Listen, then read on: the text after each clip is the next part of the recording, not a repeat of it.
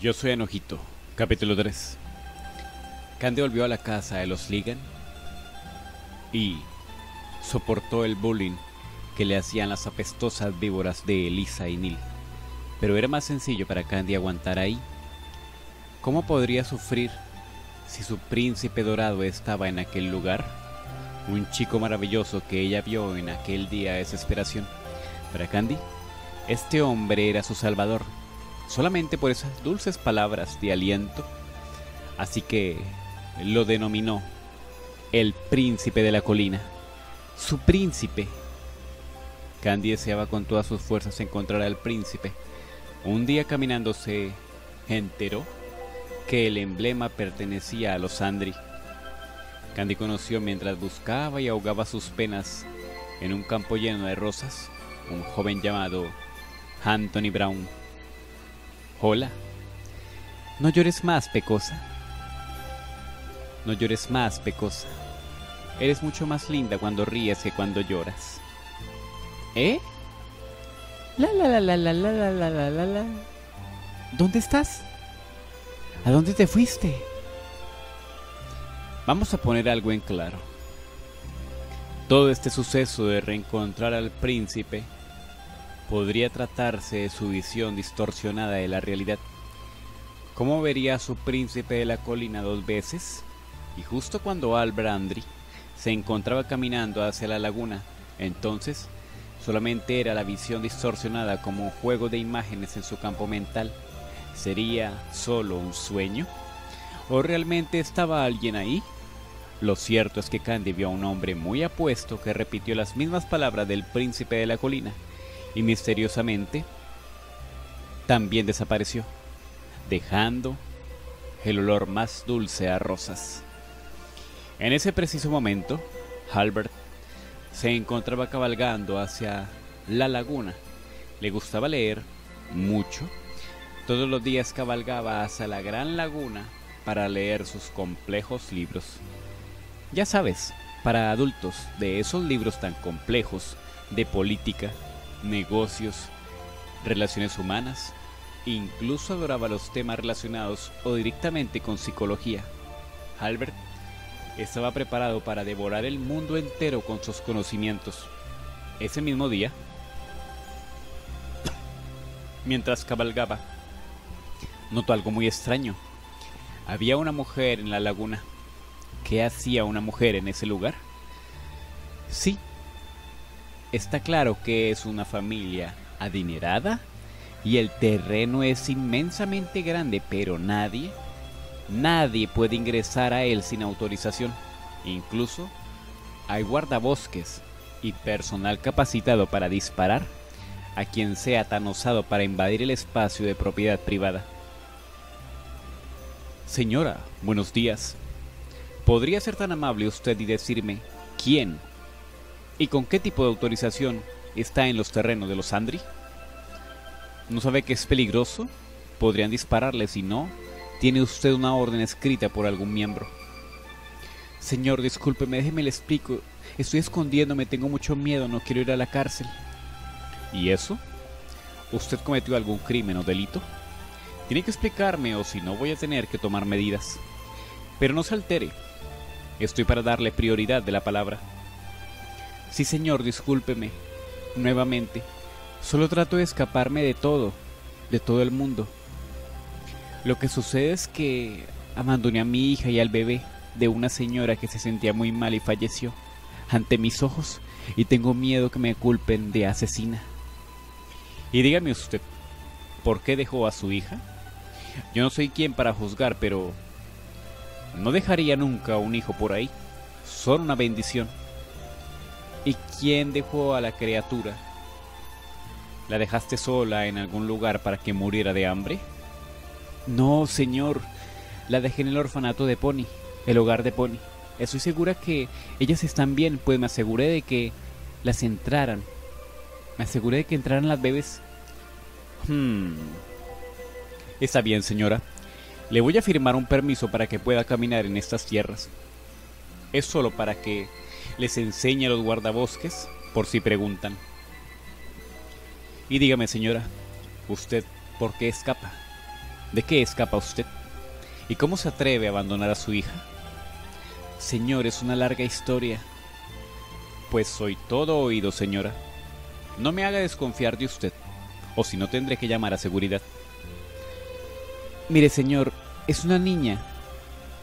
Es mi hija. Una niña es mi hija. Yo la abandoné porque no tengo recursos para alimentarla. Mi esposo me maltrata. E intentó matarme con la bebé.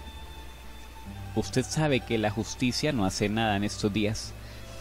Órdenes de alejamiento, demandas y nada. No sé qué pasa, pero él ha podido ya lastimarme tres veces y decidí mejor escapar. Y la otra niña es de una señora que me encontré y me dejó esta carta. Que no se le mostrara a la niña cuando cumpliera 25 años. ¿25 años? ¿Y eso por qué? Sí, señor.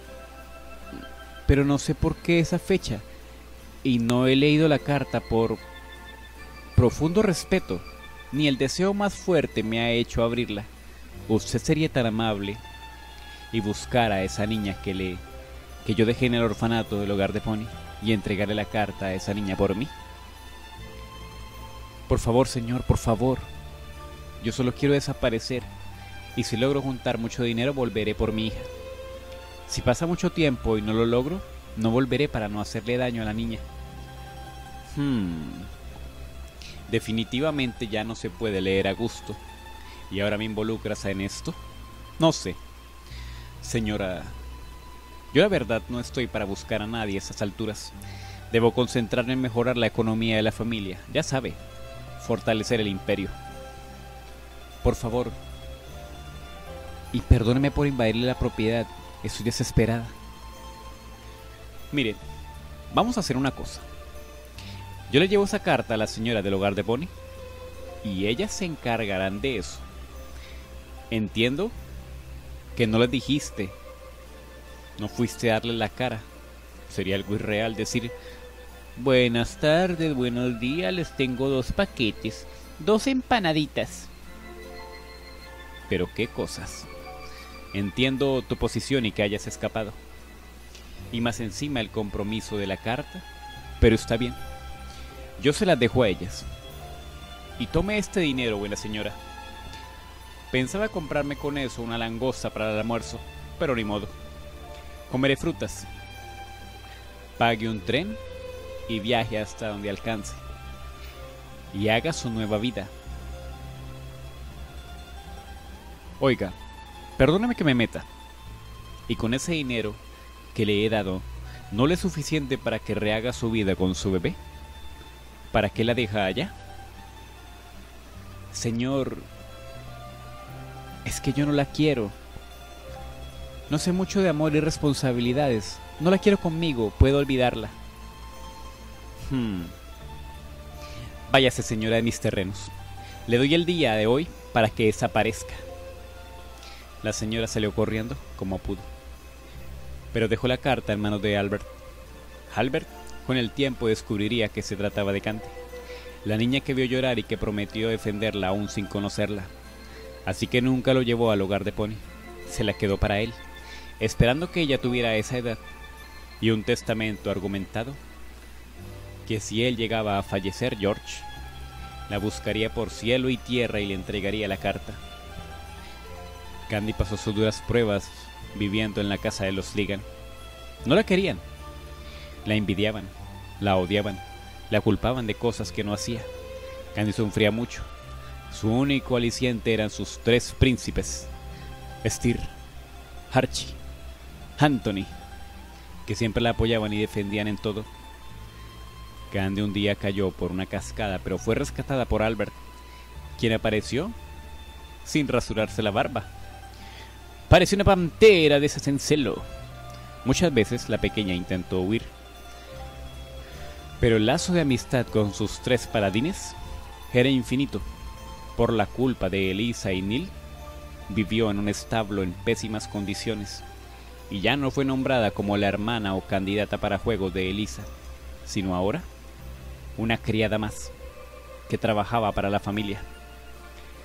Pero esta hermosa chica siempre puso su cabeza en alto y no se dejó derrotar ante la adversidad. La intentaron llevar a México por una trampa que le tendieron Elisa y Neil como castigo y finalmente, el detalle más hermoso, Anthony diseñó una flor, una de las flores más hermosas. El cielo más hermoso se llenó de alegría. Habían nacido las rosas Dulce Candy. Así las bautizó Anthony. Me gustas, Candy, dijo Anthony, sin ningún tapujo, sintiendo que ese gran amor le quemaba desde adentro. Toma, linda. Entregó la rosa dulce Candy y un dulce beso de amor en la mejilla.